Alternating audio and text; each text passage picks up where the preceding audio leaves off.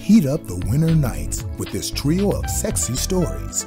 Successful real estate divorcee Kara and restaurateur Mitch are both secretly plotting to take their professional relationship personal. When their deceptions collide, will the relationship last? Find out in A Promise for the Holidays by Donna Hill.